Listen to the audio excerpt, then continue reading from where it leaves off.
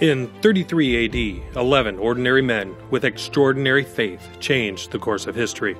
The early church spread through personal sacrifice and courage in the face of intense persecution. In fact, Christianity reached India, Ethiopia, Russia, and England long before it became the official religion of Rome. Whether you are a Christian or not, the history of the early church is an amazing tale of faith, perseverance, and selfless sacrifice that still inspires, convicts, and shapes our world today.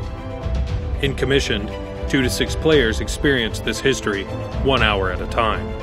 As the apostles, you will work together to strengthen your unique faith decks, grow the church, and collect the New Testament. But working against you is a deck full of trials that the apostles actually faced. In order to overcome these trials before the deck runs out or five churches are lost, you will need some authentic first century miracles. Commissioned offers strategic depth and replayability with multiple scenarios, two difficulty levels, and deck building style decision making.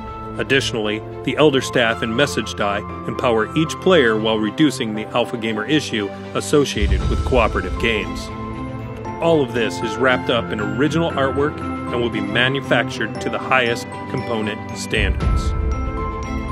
We recognize and respect the fact that many people are sensitive to religious themes, and for this reason, Commission takes a historical, not proselytizing perspective on the subject.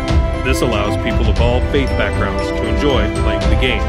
For people interested in learning more about specific historical church events, a theme appendix is included with additional information.